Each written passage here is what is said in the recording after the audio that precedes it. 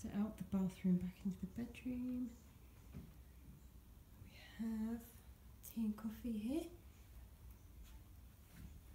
Some useful guidebooks over here. And then in the cupboards, lots of space plus some robes and slippers.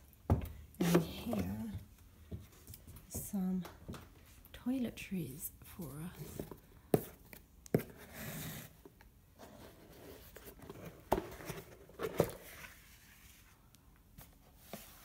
Lovely little touch.